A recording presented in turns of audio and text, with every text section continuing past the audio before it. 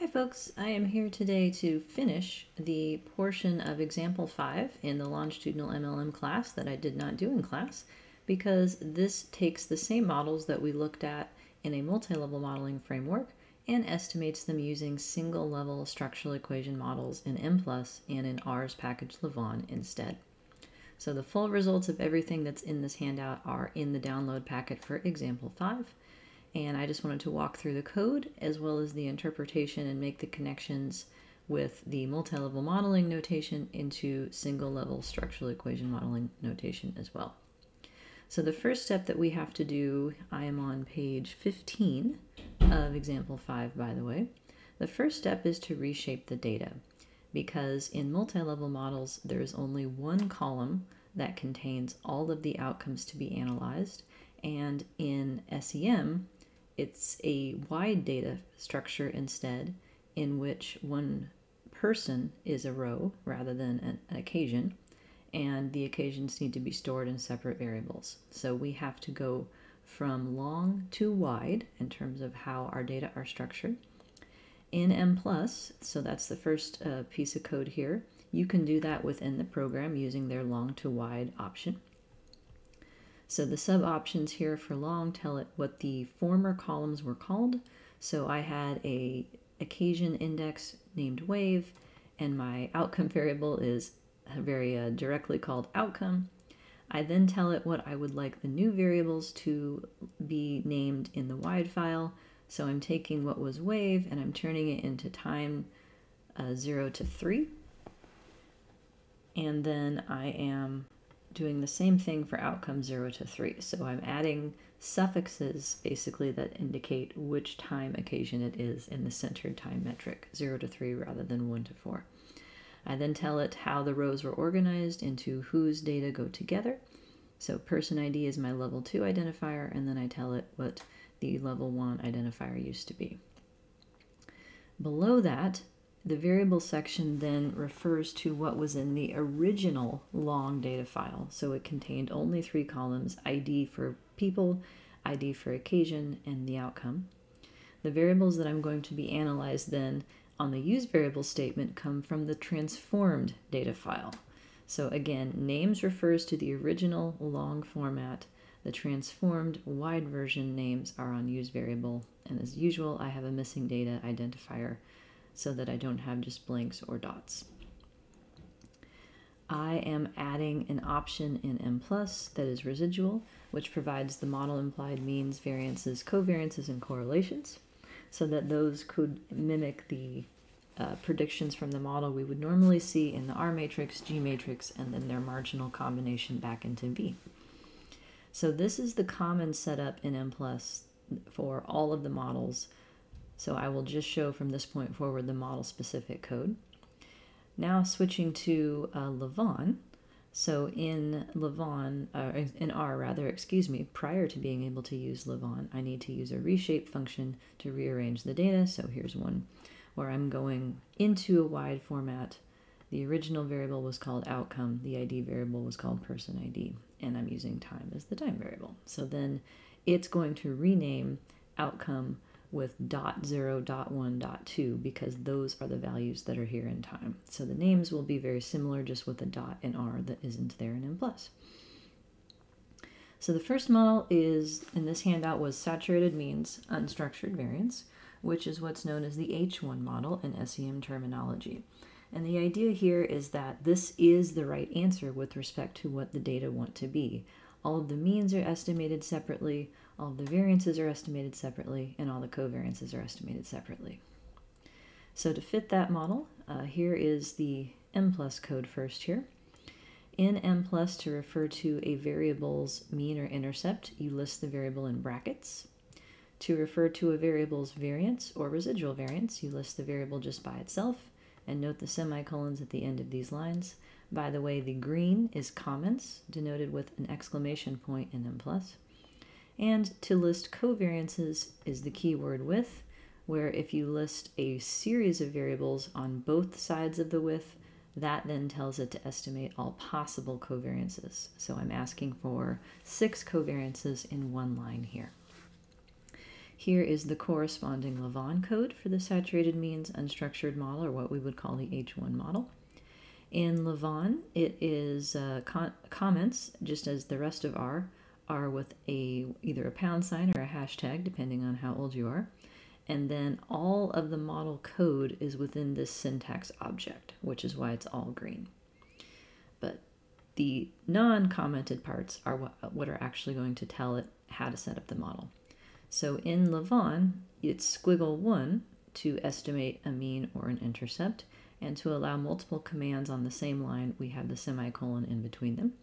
So this first row is giving each outcome its own intercept. So each occasion is the context for these outcomes here, four different occasions. Then if you have squiggle squiggle, that is a variance or a residual variance. And then squiggle squiggle with a different word on each side is a covariance.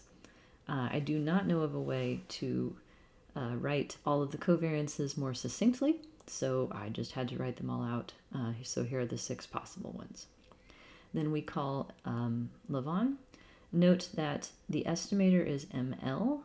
That is because there is no REML in structural equation models. So this is not a great uh, choice for those of you who would have small level 2 sample sizes, but I'm demonstrating it in this uh, example as one of the points that I want to make is we'll see how different the results turn out if we're using ML versus REML instead. So then asking to get all of the usual information that we would have, I don't need the standardized solution for our purposes here though. So this is Lavaan output. So we have the pairwise covariances among the six occasions. So this would be the off diagonal of the R matrix.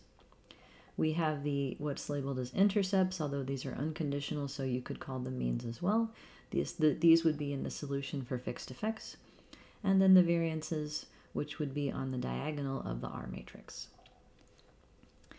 I then asked for the, the, these to be put together into matrices so that we could see them a little bit more easily. So this is the covariance matrix. So variances on the diagonal, the covariances are on the off diagonal, and because this is a saturated model where all possible things are estimated, this is the data. So this is not a prediction. It's uh, it's it's going to be a perfect fit. And here are the means.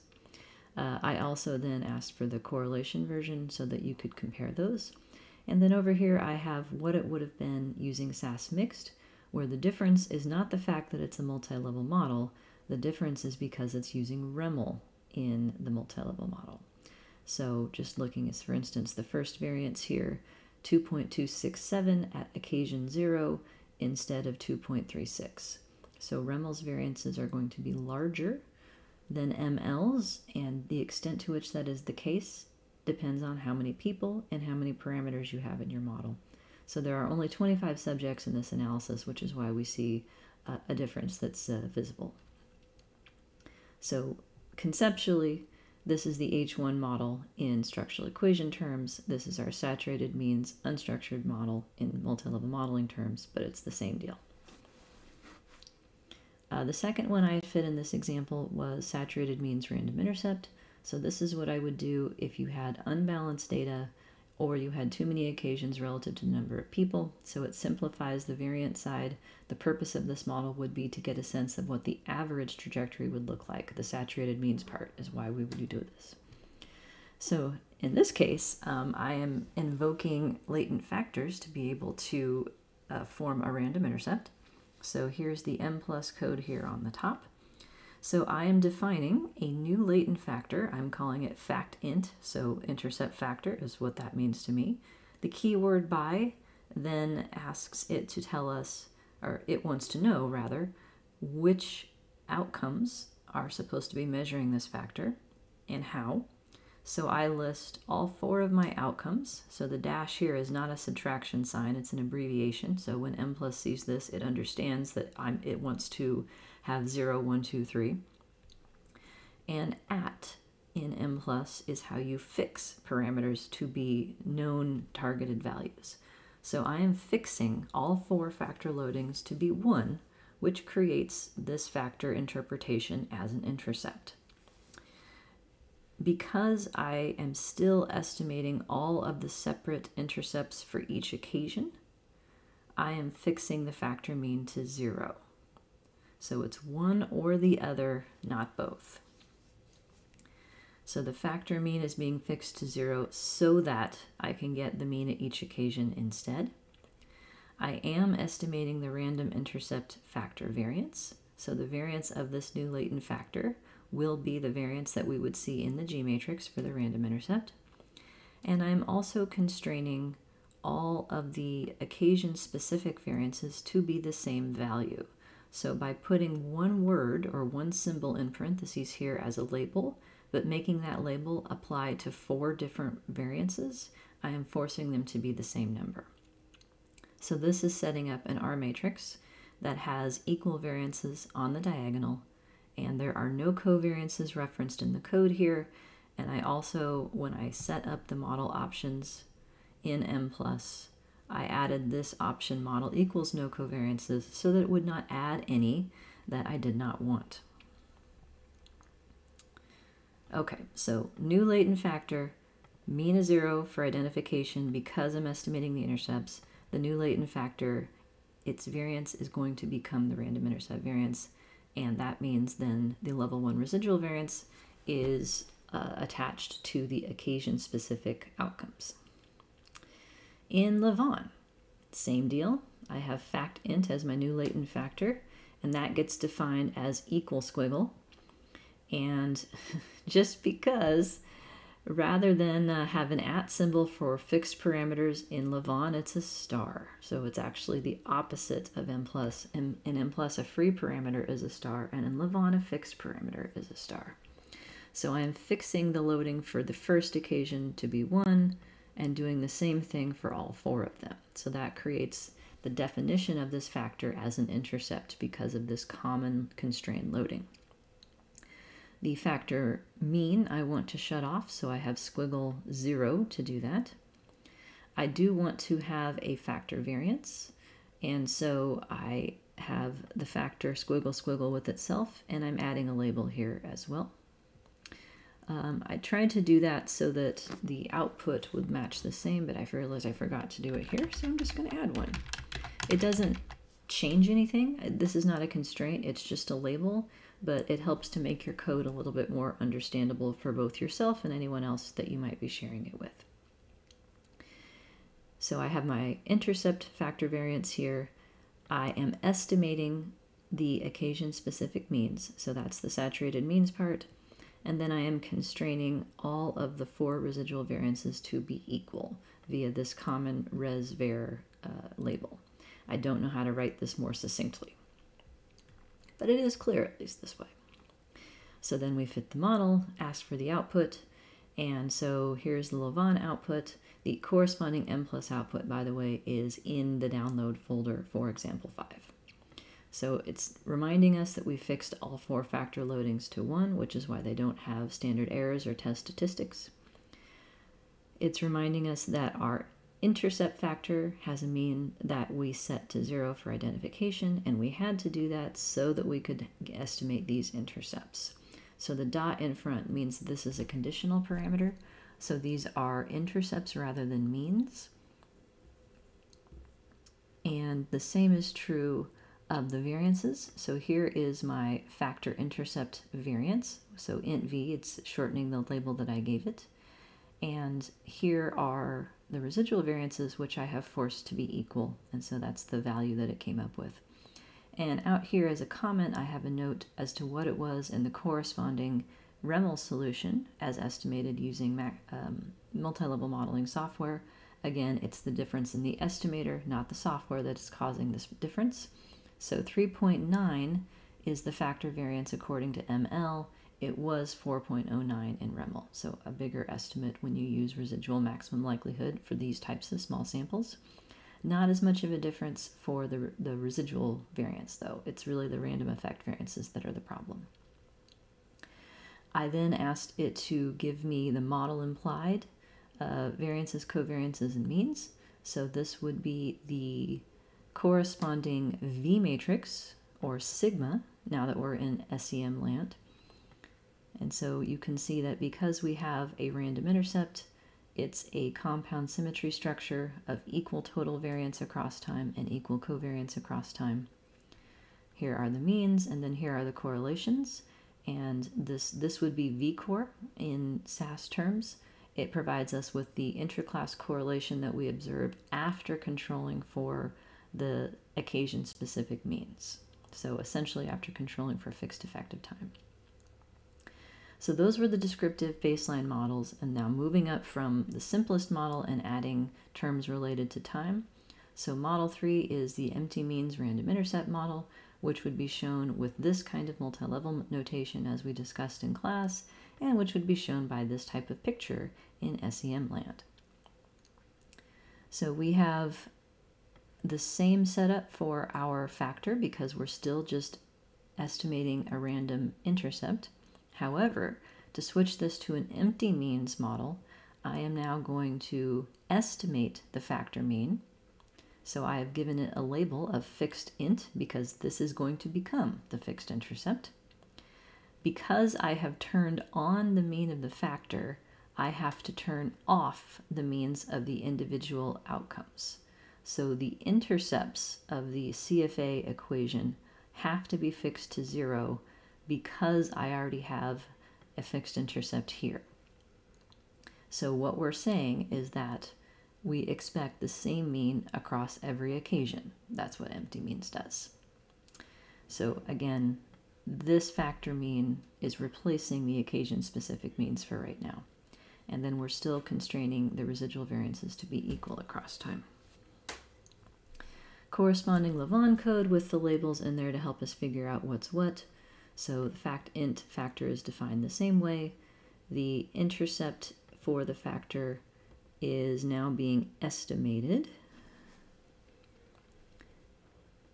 And the factor variance is also being estimated. I'm sorry, I'm slowing down here looking at the labels here. Yep, that's okay. One doesn't mean fix it to one, it means estimate it. Not, not confusing at all and then of course the four residual variances. Uh, I did shut off the occasion specific intercepts with squiggle zero then. So squiggle doesn't mean fix it at zero, it means there squiggle zero means don't estimate it. So then here is our output. So we have the four factor loading still constrained to one. Here is the mean of our latent factor intercept. So 12.8 is indeed the fixed intercept that we saw from the solution in SAS, R, and Stata. The factor variance is here, and again, this is a smaller number than what it was in REML because this is an ML estimate instead. And then here are the residual variances constrained equal. That creates then a predicted V matrix, or what we would call sigma in this context, that has this compound symmetry pattern. It predicts all four means are equal because it's an empty means model, and here is the conditional intraclass correlation that would be found as V-core. I did want to point out that this is a much smaller number because this number does not yet control for mean differences over time. So it was much higher after controlling for mean differences than before. Now to add a fixed linear effective time only, so just the fixed part, meaning that we are allowing some kind of change on average it's constant change because it's a linear effect of time, but no individual differences just yet. So in the same way that we moved from one beta at level 2 to two betas, we now have two factors. So we have the same intercept factor as before, so all of the loadings fixed to 1. But now we have a new factor and we have defined it by having loadings at the first occasion fixed to 0, then 1, then 2, then 3, as shown in the picture. So the loadings that are being fixed here are meant to convey a linear effective time. So this would literally be the time predictor in a multi-level modeling data set that has a long structure. So this presupposes that you have balanced data. So I have a note here that if you have unbalanced data, you would need to specify the model differently using an option called t-scores. And I'd be happy to show you examples of that if anyone is interested. So now I have two factors. Each factor gets a mean, So these two parameters then are labeled as fixed int and fixed linear because that's what they're going to be. These are the fixed effects of the model. I still have my intercept variance. I do not yet have linear time slope variance though, because this is a fixed effect only. So there's no U1 in the model yet. That's why this variance is fixed to zero. So it's being shut off, as also noted in the picture over here. I'm still constraining all of the specific intercepts to be zero because all of the mean change is going to be handled by these two fixed effects instead. And I'm constraining the residual variances to be equal over time as well. Corresponding Lavaan code then, we have the intercept factor right here. Here is our brand new time slope factor with the loadings fixed. So zero star means fixed here, one star means fixed. I have my two factor means, one for the intercept, one for the fixed linear time slope. I have my intercept factor variance. I have my linear slope variance shut off at zero, my occasion specific intercepts still shut off at zero, and my residual variance is constrained equal over time. I, from what I understand, there is there are functions in Lavaan. I think growth maybe is one of them that simplify this code so that you have to type less. But when I teach, I don't use those shortcuts because I'm trying to be as transparent as possible about how the model is set up, what's being estimated, and what's not being estimated.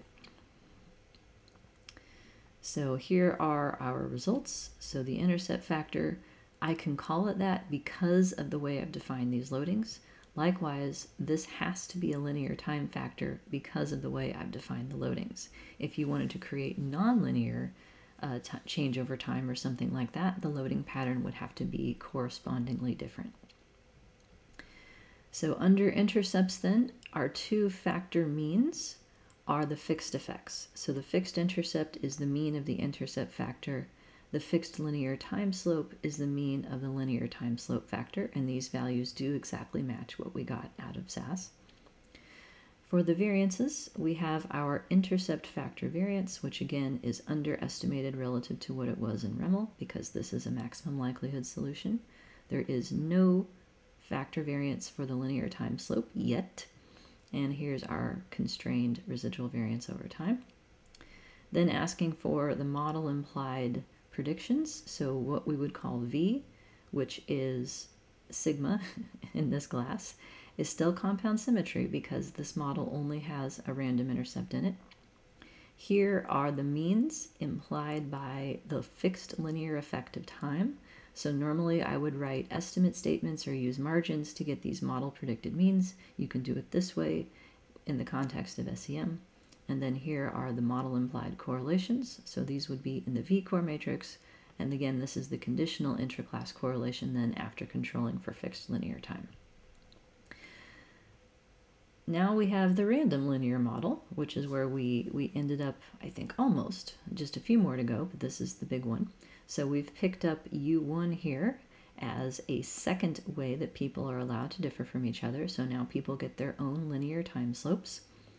And this is the corresponding full picture that now has an estimated linear time slope variance as well as an estimated covariance with the intercept. So we've picked up this variance and this covariance as two new parameters. We have, all right, so here's the M plus code. The difference is right here.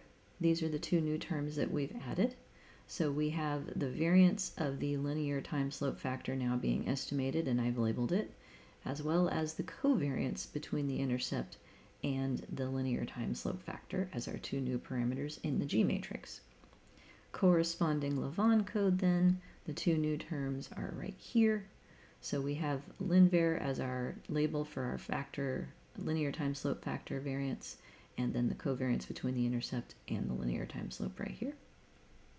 Everything else is the same. So now we have listed first the covariance. So this would be in G. This is element 2, 1, the covariance between the intercept and the time slopes. Random effects from the same person. We still have our two fixed effects here. So this is the predicted outcome from the linear model at time zero is the 10.275. 1.7 is the rate of change according to the linear model on average. And we have our two factor variances here. So these would be our level two variances in the G matrix for the intercept and for the time slope. Again, both underestimated relative to what they were in REML. Our constrained variance, this would be in the R matrix. And this is the residual variance constrained equal over time. So now we have a differently shaped marginal model implied matrix. Call it V, call it sigma, but don't call it compound symmetry because it's not anymore the addition of the random linear time slope factor variance makes it so that the predicted variance changes as a function of which occasion it is squared. So variance over time is now predicted by a function of time squared and the model parameters. Likewise, covariance now depends on which two occasions it is and the model parameters as well. And I have a note for where you can find uh, the math worked out as to how this table got built. Because we're adding a random effect, more specifically, we're adding a variance of a random effect and its covariance with the intercept, we don't want to just stare at the p-value that goes with it. So this is sus, as my son would say, because variances don't have a normal sampling distribution the closer they get to zero, which is when this test would matter the most. So instead of staring at that wald test p-value, we will do the likelihood ratio test that we should do. So comparing the model that has the fixed linear term only to the model that also adds the random time slope variance and its covariance with the intercept. And this is the exact same significance test that we got out of uh, the multi-level modeling process. So we would conclude yes, there is considerable evidence that we need the random time slope to make our model fit better. Last but not least, trying to introduce additional residual relationships in the R matrix, autoregressive and Toeplitz lag 1. So I tried and failed at this in R, so if someone knows how to do this in R, please let me know. I'd be happy to learn how to do it. But I do know how to do it in M+. So all of the code for the model up to this much is as it was before. The new piece that we need for M plus is right here. Sorry, my pages are off a little bit relative uh, to what your handout will probably look like, but the information is the same. So I have asked for pairwise covariances here. So p with means the first one of the series with the first one of this series, the second one of the series with the second one, so this is 0, 1, 2 is correlated with 1, 2, 3. So this is what I would call the lag 1 residual covariance. Likewise, 0 is correlated with 2 and 1 is correlated with 3. That's the lag 2 covariance. And then 0 and 3 are correlated as the lag 3. I can then define the new autocorrelation parameter and tell M plus how to use it to create these constrained covariances. So the residual covariance for occasions that are one unit in time apart, I want it to be built out of the ingredients from the AR1R matrix. So we have the autocorrelation to the first power times the square root of the two corresponding residual variances here, so the standard deviation metric.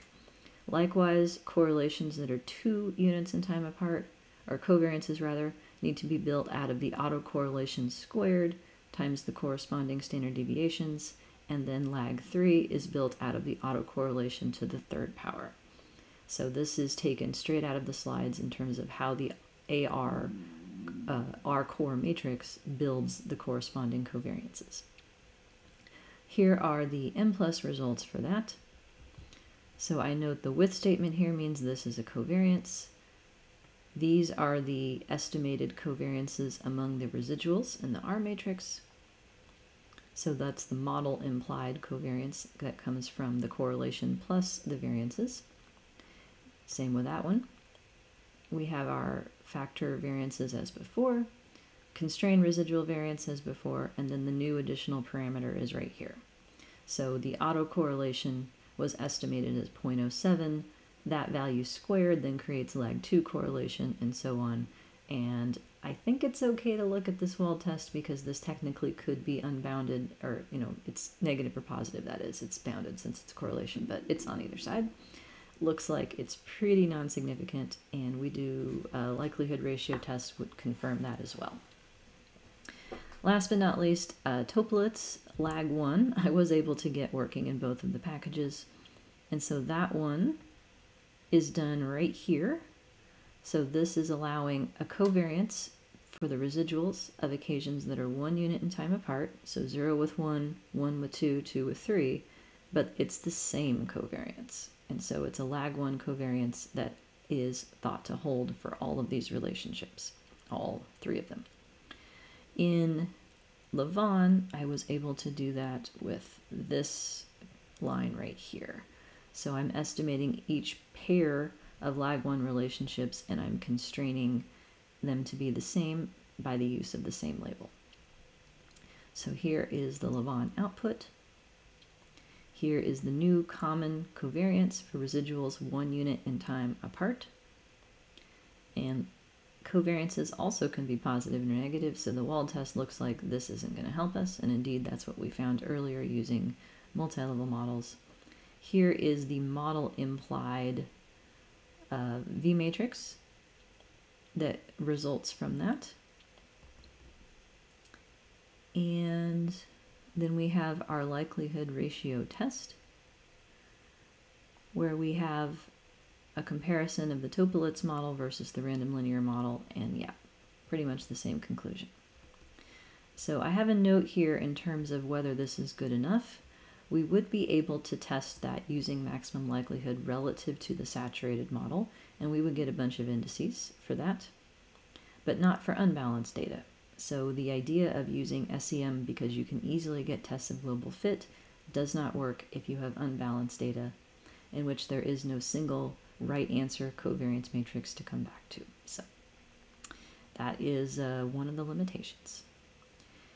All right, I think that's all I wanted to say about that. Thanks for listening, and I'll see you on the other side.